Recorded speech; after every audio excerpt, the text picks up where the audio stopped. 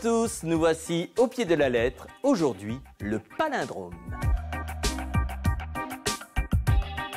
Engage le jeu, que je le gagne. Cette phrase a priori quelconque possède une particularité.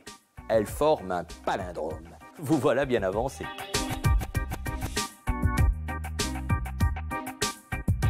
Le palindrome est un mot, une phrase ou un texte dont l'ordre des lettres reste le même qu'on le lise de gauche à droite ou de droite à gauche. Regardez bien, engage le jeu que je le gagne, peut être lu dans les deux sens.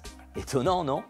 Ce petit jeu aurait été inventé par le poète grec Sotanès de Maronée vers 275 avant Jésus-Christ et se pratique dans toutes les langues. Il existe des palindromes dits naturels. Le pronom elle, les mots radar ou ressassé. On peut y ajouter certains prénoms, Eve, Bob, Anna, des noms tels que Laval, le père Ubu d'Alfred Jarry ou le groupe ABBA, des sigles comme SOS.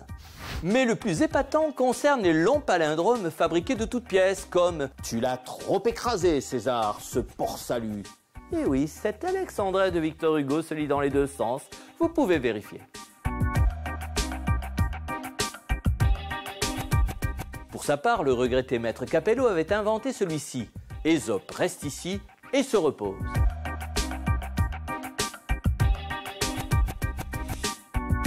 Le record fut longtemps détenu par Georges Perec avec un palindrome de 1247 mots. Mais le palindrome de Saint-Gilles, composé par le belge Paul Koels, en comporte 2119.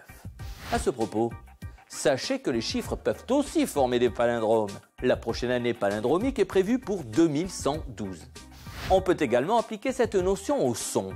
Si vous enregistrez la phrase Angèle et Laurent enrôler les gens et que vous la réécoutiez à l'envers, cela donnera Angèle et Laurent enrôler les gens. Idem pour la musique.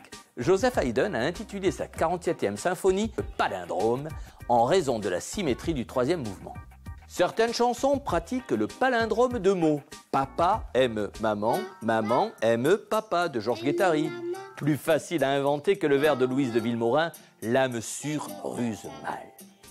La fin de cette émission? Tu l'as ici. Salut, encore un palindrome. À bientôt.